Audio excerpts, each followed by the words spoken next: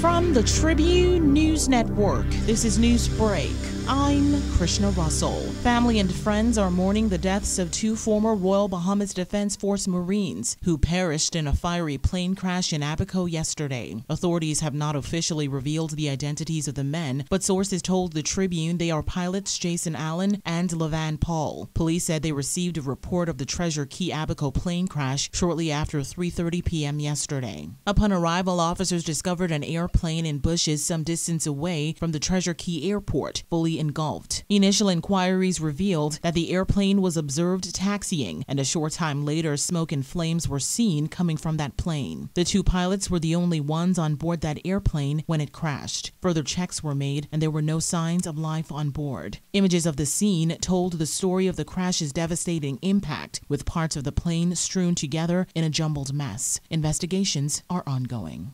Progressive Liberal Party leader Philip Brave Davis said Prime Minister Dr. Hubert Minnis has sought to confuse people about the timing of the next general election more than any other prime minister in this country's history. His comment came yesterday after Dr. Minnis told people on Sunday to register to vote in the shortest possible time. The comment reignited speculation that Dr. Minnis is gearing up to call an early election. Mr. Davis said, quote, he is not engaging the public and or the opposition party consistently in the way that has been happening in the past. At the very least, every prime minister in modern days gave some indication that covers a three or four month period as to when the election will be held. Mr. Davis said Dr. Minnis's approach is especially jarring, given the prime minister's bold 2017 campaign promise to pass legislation implementing a fixed general election date in order to remove uncertainty from the process.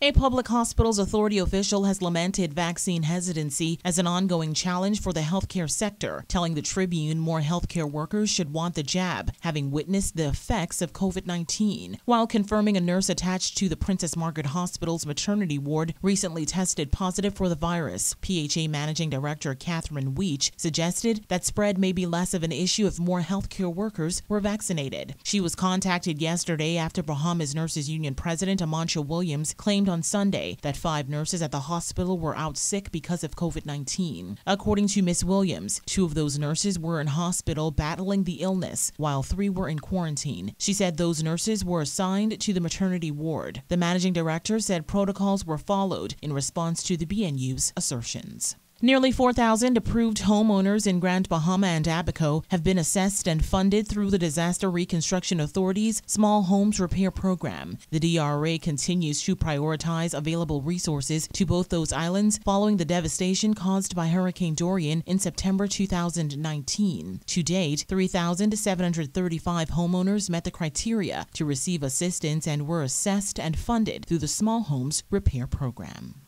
Your complete news and information source. This is the Tribune News Network. In international news, in a crucial moment for Democrats, party leaders are hunting for a sweet spot that would satisfy their rival moderate and progressive wings on legislation to finance President Joe Biden's multi trillion dollar agenda of bolstering the economy and helping families. With virtually no votes to spare and saber rattling by both Democratic factions, leaders are finding their search for middle ground arduous, even though the president's push for infrastructure projects and family centered initiatives is his top domestic priority.